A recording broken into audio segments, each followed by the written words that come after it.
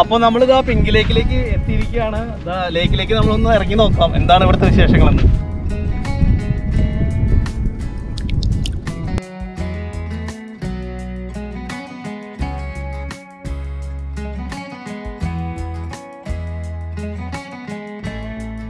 നമസ്കാരം സുഹൃത്തുക്കളെ എം ഹബീബി എമ്മിന്റെ മറ്റൊരു എപ്പിസോഡിലേക്ക് സ്വാഗതം. ഇന്നത്തെ നമ്മുടെ യാത്ര റാസൽ ഖൈമയിലെ പിങ്ക് ലേക്കിനെ ലക്ഷ്യമാക്കിയാണ്.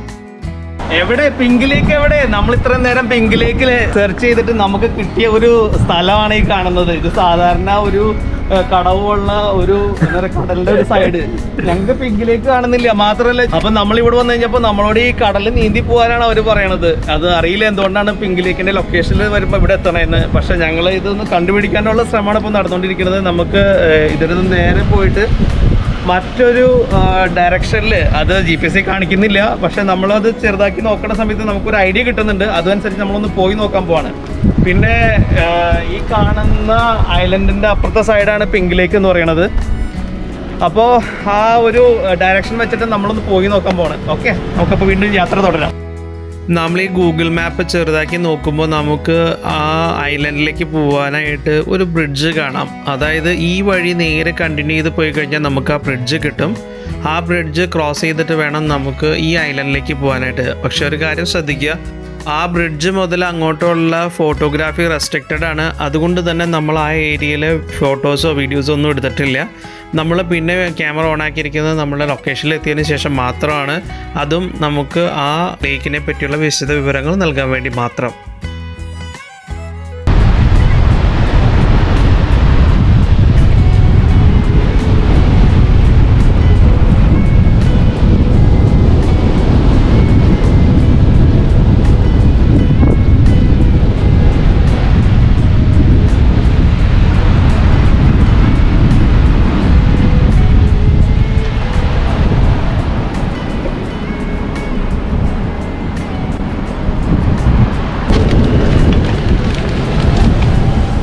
അപ്പോൾ നമ്മൾ ഇതാ പിങ്ക് ലേക്കിലേക്ക് എത്തിയിരിക്കുകയാണ്. ഇതാ ലേക്കിലേക്ക് നമ്മളൊന്ന് ഇറങ്ങി നോക്കാം. എന്താണ് ഇവിടുത്തെ വിശേഷങ്ങളെന്ന്.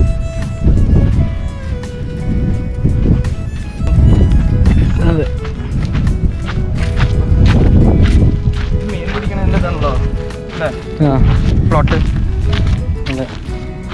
പിങ്കൊന്നുമല്ല എന്ത് സൾഫർ എന്തോ? എന്താ? ചെളി ചെളി നോക്കി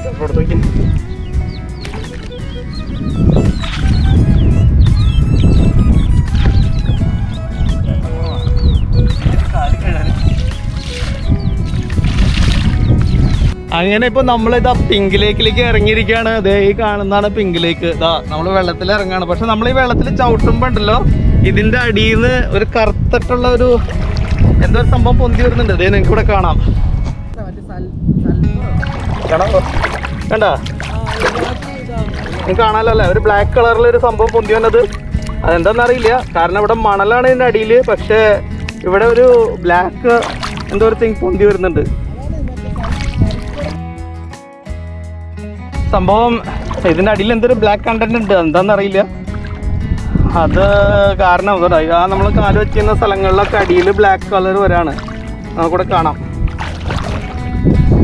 അങ്ങനെ അപ്പോൾ ഇതാണ് ഇവിടുത്തെ പിങ്ക് ലേക്ക് എന്ന് പറയുന്നത്.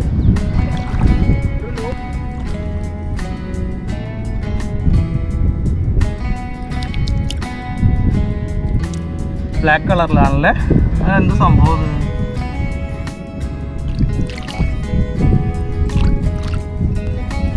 അതുപോലെ ഇത് ഈ ലേക്കിന്റെ സൈഡിൽ നോക്കി കാണാം. ഇങ്ങനെ പത പോലെ വന്നേക്കണത്. കാണാലോ അല്ലേ? അപ്പോൾ സുഹൃത്തുക്കളെ ഈ പിങ്ക് ലേക്കിലെ വിശേഷങ്ങൾ ഇവിടെ തീരുകയാണ്. നിങ്ങളിവിടെ കണ്ടു കഴിഞ്ഞു ഏതാണ് ലേക്ക് എന്നും ഇവിടേക്ക് വരുന്ന ലൊക്കേഷനും അതുപോലെ തന്നെ ലേക്കിന്റെ അകത്തെ വിശേഷങ്ങളും. നിങ്ങൾ ചവിട്ടിക്കഴിഞ്ഞാൽ കറുത്ത കളറാവുന്ന എല്ലാം നിങ്ങൾ നേരിട്ട് കണ്ടു കഴിഞ്ഞു. അപ്പോൾ എന്തെങ്കിലും ലൊക്കേഷൻ ഡൗട്ട് ഉണ്ടെങ്കിൽ നിങ്ങൾ ചോദിക്കാം. പറഞ്ഞ പോലെ ബീച്ചിന്റെയും ഈ ലേക്കിന്റെ ഇടയിൽ ഒരു വഴിയുണ്ട് മണലിൽ അതിൽ വരരുത്. ഐതർ നമുക്ക് പുറത്ത് നേരിട്ട് ഇങ്ങോട്ട് വരാനായിട്ട് ഈ മണ്ണിട്ട് പൊക്കിയിരിക്കുന്ന വഴിയുണ്ട് അതിൽ കടന്നു വരാം. അല്ലെങ്കിൽ ഈ പറഞ്ഞ പോലെ ബീച്ചിന്റെ സൈഡിൽ വന്നിട്ട് അവിടെ നടന്നു വരാം.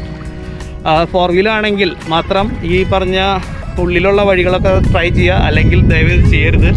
മണലിൽ പെടുന്നതായിരിക്കും. മാത്രമല്ല ഇവിടേക്കൊക്കെ റിക്കവറി കാര്യങ്ങളൊക്കെ കിട്ടാൻ വളരെ ബുദ്ധിമുട്ടാണ്. ഇവിടെ ഭയങ്കര സാൻഡി ആയിട്ടുള്ള ഏരിയയാണ് പ്രത്യേകം ശ്രദ്ധിക്കണം. ഇവിടെ കടൽ ഈ പിടിച്ചിട്ട് മണൽ ഉള്ള ഒരു ഏരിയ ഉണ്ട് ഇതിന്റെ സൈഡ് ഈ വഴി കൂടെ ഒരു കാരണവശാലും വരരുത്. ഫോർ ബൈ ഫോർ ആണെങ്കിൽ നിങ്ങൾക്ക് ട്രൈ ചെയ്യാം. പക്ഷെ വരാൻ ശ്രമിക്കാതിരിക്കാൻ ബെറ്റർ പക്ഷെ അതിന് പകരം ഇവിടെ മണ്ണിട്ട് പൊക്കിയിട്ട് മറ്റൊരു റോഡ് നിങ്ങൾക്ക് ഇവിടെ നിന്ന് കാണാവുന്നതാണ്. ഈ വണ്ടി കിടക്കുന്ന വഴിയിൽ നേരെ പോകുന്നത് ഇതാ ഈ പിങ്ക് ലേക്കിലേക്കാണ് പോകുന്നത്.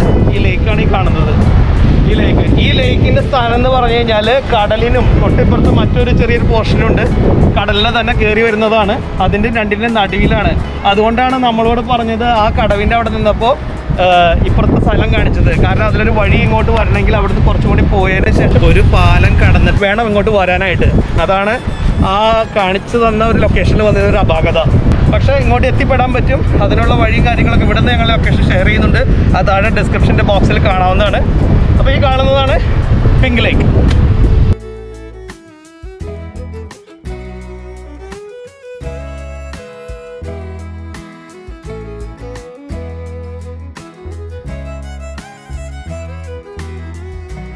ഉള്ള കാര്യം അങ്ങ് ഫ്രാങ്ക് ആയിട്ട് പറയാലോ. ഈ ലേക്കിനെ എന്തുകൊണ്ടാണ് പിങ്ക് ലേക്ക് എന്ന് വിളിക്കുകയെന്ന് എനിക്കറിയില്ല. പലരും പറഞ്ഞു കേട്ടിട്ടുണ്ട് ഇത് പിങ്ക് ലേക്ക് ആണെന്ന് പലരും തള്ളണയും കേട്ടിട്ടുണ്ട്. അത് കേട്ടിട്ടാണ് ഞാനും വന്നത്. പക്ഷേ ഇതാണ് സത്യാവസ്ഥ. ഇവിടെ പിങ്ക് കളറും കാര്യങ്ങളൊന്നും ഞാൻ കാണുന്നില്ല. മാത്രമല്ല ഇതെന്താണെന്ന് അറിയാൻ വേണ്ടിയാണ് നമ്മൾ ജസ്റ്റ് ഡ്രോണും കാര്യങ്ങളൊക്കെ ഒന്ന് വെച്ച് ഒന്ന് ഇതിന്റെ ഫുൾ വ്യൂ ഒന്ന് എടുത്തു നോക്കി. അതിലും നമുക്ക് കാര്യമായിട്ട് പിങ്ക് നിറമൊന്നും കിട്ടുന്നില്ല.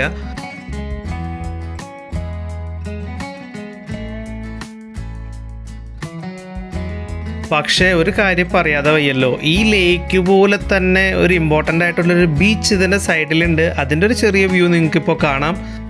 ഇവിടെ നിങ്ങൾ നിങ്ങളുടെ ഫാമിലി ആയിട്ട് വരിക. അതുപോലെ തന്നെ ഈ ബീച്ചിന്റെ സൈഡിലൊക്കെ അതായത് അതിന്റെ ഒരു വേവ്സ് വരുന്നത് കാണാനായിട്ട് നല്ല ഭംഗിയാണ്. അതുപോലെ നല്ലൊരു കിടിലൻ ഒരു ബീച്ചാണ് ഇത് നിങ്ങൾക്ക് ഫാമിലി സ്പോട്ടായിട്ട് നിങ്ങൾക്ക് യൂസ് ചെയ്യാം.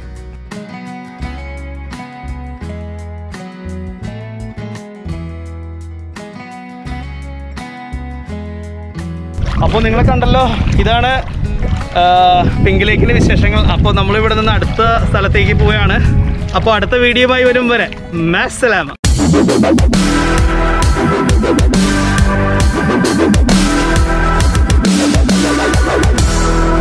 Uh, hi, uh, what's your name? Muhammad Saif al Baq. Wadi Sham. Wadi Sham. Wadi Sham. Sham. Hmm. Wadi Sham. Okay. Halatina. അത്തീന യു എയിലെ അതായത് റാസൽ ഖൈമയിലെ ഈ മനോഹരമായ ഫാമിലെ യു എയിലെ എല്ലാ പുതിയർമാരും അറബ് ലോക്കൽസും.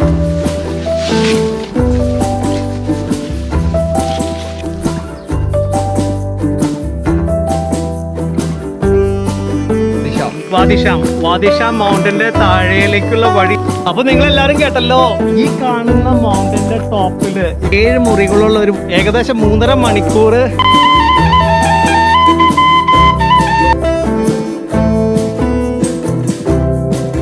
ശുക്രാൻ യം യം യം subscribe to channel and leave a comment We'll be right back.